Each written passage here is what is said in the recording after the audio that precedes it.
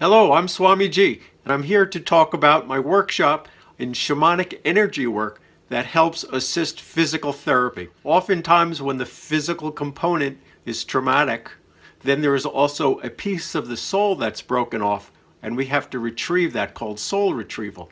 So, even if the physical condition is healed, oftentimes the person still does not feel full connection with themselves yet.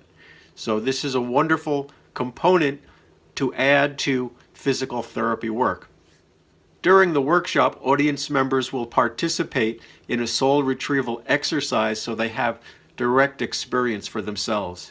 It's easy, it's fun, and it's used for both practitioners and clients. I will share with you a number of case studies where I've used successfully soul retrieval in cases where the physical pain only can go away from reconnecting the soul where, for example, in five or 10 minutes, the, the pain has shifted and in some cases uh, disappeared. And then we'll discuss how this can very easily be used by any practitioner to help their clients and also thereby start to create research for future publications.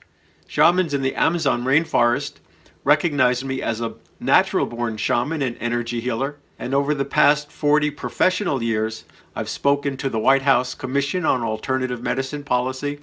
I've written an Amazon number one bestseller, the Ayurveda Encyclopedia, and I offer workshops in shamanic energy healing. My mission is to help bring world peace. World peace for me is wellness, equal opportunity for all, peace, love, compassion and joy. We need joy in this world. I look forward to sharing this heart-based workshop with you, connecting our souls and having lots of joy, joy, joy.